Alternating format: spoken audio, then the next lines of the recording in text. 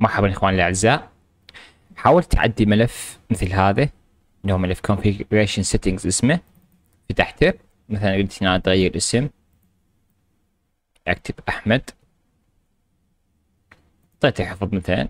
save طلع لي هيك شيء. وما أقدر أسوي له save راح ينزل لي اياه بصيغه TXT مو configuration system يعني يتعرف على النظام. شو أسوي؟ نطلع من الملفات هنا. آه ندوس على start نكتب Notepad طلع لي هذا ال Notepad أعطيه صلاحية إدارة أقول له as administrator لي هسه النوب أروح أقول له file نوب أقول له open احدد مكان الملف اللي أقدر أعدل عليه. أنا على سبيل المثال Program Files Black Ops 2 أقول له all files كل الملفات. اسمه redacted. هذا redacted. فتح لي هسه هنا هسه أقدر أعدل طبيعي عليه بعد. اكتب اسمي أحمد. هنا اكتب مثلا English لغه